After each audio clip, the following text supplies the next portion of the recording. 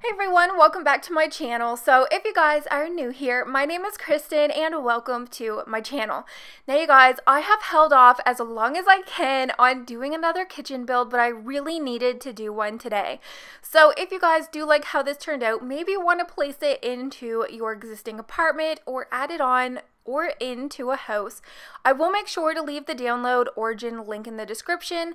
And if I happen to forget, which sometimes does happen, you guys, I, you can still find it in the origin um, gallery. Just use my username, Krystin Myrie XO. This, and maybe you might even find one of my other builds in the gallery that you like as well. So if you place this, just be sure to turn on your move objects cheat just because there are some items in here that I like raise, lower, and size up. So it just makes sure that everything gets placed the same when you put it into your game.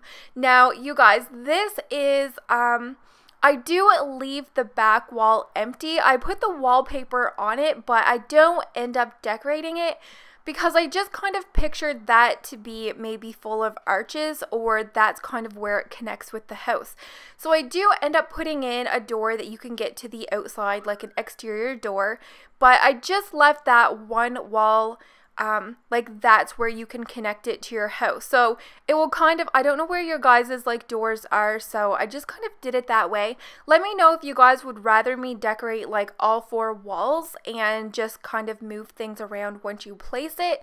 Um, completely up to you guys. I just thought I would do it that way for this one here. I know once in a while I get comments about having that bare wall, but I do find it easier if you're just adding it onto a house that is just like there, if that makes sense. So, okay, this is kind of a slightly cluttered kitchen. I didn't want to make too much clutter, but I definitely wanted it to kind of have like a slightly lived in look. So I kind of went for like the light blue pastel themed color. I love this color and I actually tiled this. You guys know I pretty much use wood flooring in like every single build in every single room, but I kind of wanted to switch it up a little bit and I felt like these really light tiles just kind of worked better with the blue counters. I needed something that was neutral with no color, so it didn't make it too tacky looking. So I also went with like the mint blue appliances just to kind of keep within the pastel theme. And you guys, this is so cute. I really love how it turned out. And I do end up putting in some like baked goods in the counter and there's some peppers on the island and there's just like a really big amount of space there's like a ton of counter space it's kind of a little bit um like I probably could have added a little bit more clutter, but because I was building this to be more of like a baker's kitchen, like I pictured to make cupcakes in here, just kind of wish we could have like a countertop cupcake machine. Like that would be perfect. I would love to be able to make cupcakes all the time in The Sims 4, you guys. But honestly, the cupcake maker machine that they have in game, it's like the size of a house, I swear. Like I don't know other than putting it in the back corner of a restaurant kitchen, like how do you put that in a house or an apartment? I mean, Everybody likes to make cupcakes. I would love to see them maybe make an updated version of that, kind of like the same size as like the microwave or one of the like I don't know, is it a coffee machine or like that latte thing?